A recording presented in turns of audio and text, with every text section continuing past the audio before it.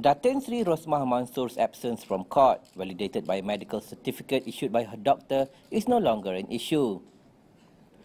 Malaysian Anti-Corruption Commission Chief Latifah Koya confirmed that all was well. On Monday, Rosmah's counsel Datuk Jagjit Singh told the court his client's absence was due to cervical spondylosis. He told the court that the condition could be described as life-threatening, referring to a Google search. Rosmah, 69, was supposed to attend the first day of her corruption trial in connection with the supply and installation of solar panels at 369 rural schools in Sarawak.